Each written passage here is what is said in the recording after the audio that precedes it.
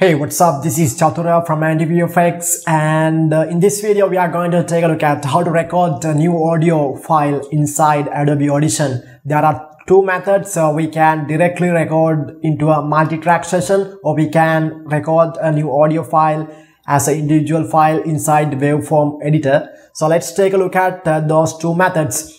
If you haven't subscribed to AntiVFX, uh, please subscribe to AntiVFX and uh, we really appreciate it and we will be continuing this uh, tutorial series. So, why we need to record audio inside Adobe Audition? For example, we need to do a voiceover or we need to do a narration. We can easily create that kind of uh, audio inside uh, Audition. In order to record a new audio file, you can use this uh, new file option you get uh, three options new audio file new multi-track session and uh, new cd layout. I have set my keyboard shortcut to control n but uh, default shortcut is different. You can change the audition keyboard shortcuts go to uh, edit uh, keyboard shortcuts and here you can uh, type you can create this is the default structure but uh, you can create a custom uh, keyboard layout based on your requirements. So you can search uh, record start recording sorry record new audio or new audio file. You can click on this and the default shortcut is control shift n or something like that but it's hard uh, but the control N is very convenient to record a new audio file because we frequently record new audio files. So I recommend you to change the shortcut to control N. You can click on it and close this and you can type the whatever keyboard shortcut which is easier for you and save it as a custom layout so you can easily switch between these uh, keyboard shortcut layouts layouts uh, based on your work so that's uh, extra trick so go to file new audio file or control N and it will pop up this uh, new audio file dialog box. You can give a name, right? So let's type uh, trailer voiceover. You can, uh, it is uh, very important to uh, naming the audio file because when you work on multiple files and when you work on complex project, it can be difficult to manage the project uh, if you didn't put the names uh, at the, from the beginning because uh, it's a very good practice uh, do the work do the work in a very organized manner that will make your workflow much easier. The next option is sample rate. Uh, the sample rate you know that uh, audio is a fluctuation of the air and the sample rate is how many samples capture per second right? So you can see frequency is uh, how many frequencies uh, that is vibrating the air for a second and the sample rate is how much uh, how many samples uh, does the audio uh, does the microphone capture per second.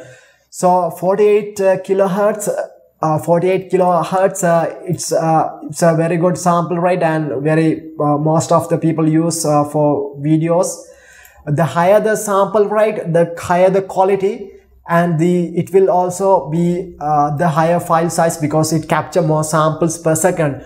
If you want to do advanced type of thing you can go to 96 uh, kilohertz uh, sample rate and it will generate larger file. But uh, it's a very good practice. Uh, normally people use uh, 44 kilohertz for the cd quality work and 48 kilohertz for video works. And you can select channels whether you want to record as a mono file or stereo file you can select that. And then the next option is uh, bit depth.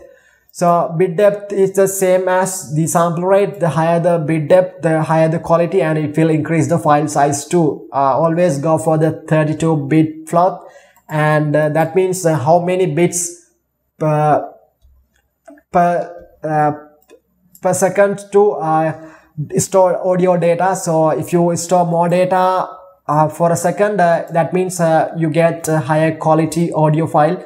So always better to use a 32 bit float because we want to get uh, higher quality audio recording and click ok. Now you can see the traveler uh, the trailer voiceover and you can see asterisk mark. That means uh, we haven't saved the file yet this is uh, indicator that the file haven't uh, the file hasn't uh, saved yet.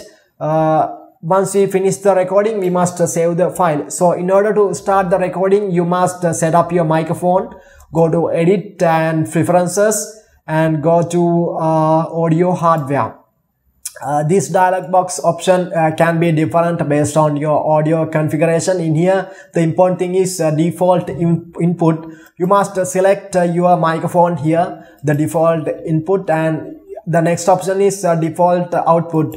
If you want to monitor your audio while recording uh, you can turn on you this is the default playback speaker and we can select the playback speakers what we want and when you select that it is important to select a sample rate that's that is default with your sound card uh, because otherwise uh, audition try to uh, resample your audio recording and it may um, it is hard for the software to uh, resample the uh, audio. So normally we get the audio card uh, with 48 kilohertz sample rate and it's a very good idea to record at 48 kilohertz.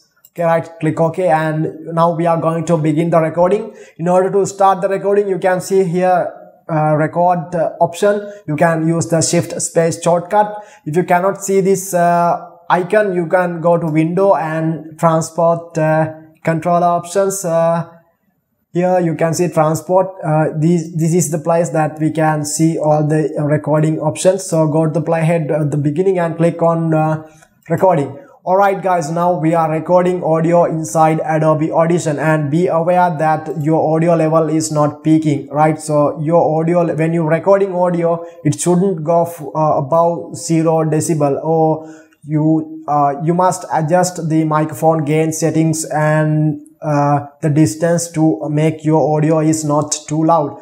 To stop the recording and go to stop option here. Right, so now just we recorded a new audio file and you can see uh, when you can play that again so your audio when you're recording audio it shouldn't go uh, about you can see now we just recorded a stereo audio file and this is the audio file we just recorded before we do anything else uh, we can go to file and uh, save or control s uh, you can we can save this audio file into a location uh, where we need, right? So here you can select a file name and you can select a location uh, for the audio file and uh, we can select the format.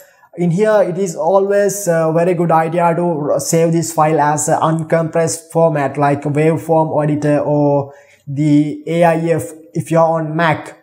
So these are uncompressed uh, audio formats because uh, it ha it saves with a lot of details and we can easily we can use uh, these uh, files to re-edit and do some modifications to these files because it contain a lot of details. But if you uh, save it as a MP3 format or other Windows Media Audio format, uh, it will compress the audio file. Those uh, file formats are used uh, when we want to export the final mix and when you are ready to publish those files.